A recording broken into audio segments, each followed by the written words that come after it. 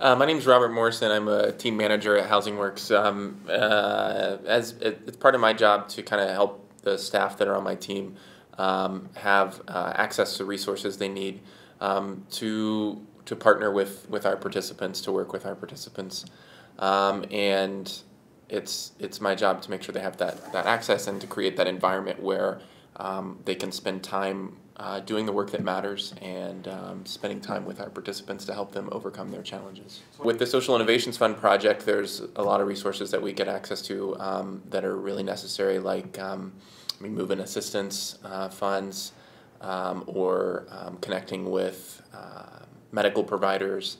Um, whenever there's a problem that's particularly difficult to solve, maybe we need to bring in a team or another agency that that the case manager might not be able to do on their own. We kind of serve as like a glue between a lot of different systems and agencies um, that are tasked with taking care of a certain part of a person's life, and so we kind of fill in all those gaps and bring them all together.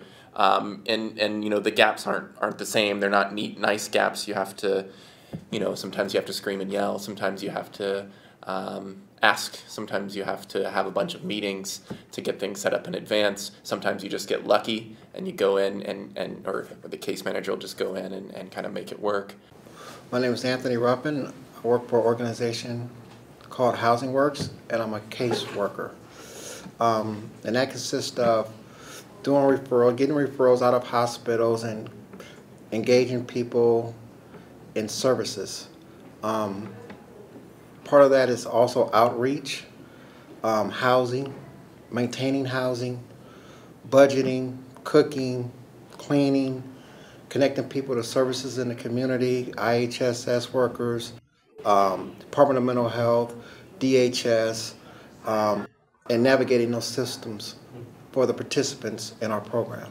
The people that I'm connecting with are people that are chronically homeless, um, usually five, ten years on most cases. Um, no family, no support systems, um, really sick, mental health issues, physical issues, um, environmental issues, and um, working with that person and substance abuse, and working with that person to overcome those barriers and place them in appropriate supportive housing.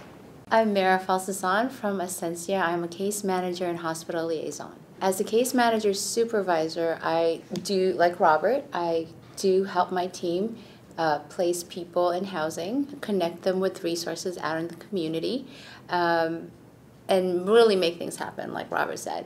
I've been able to make that easier.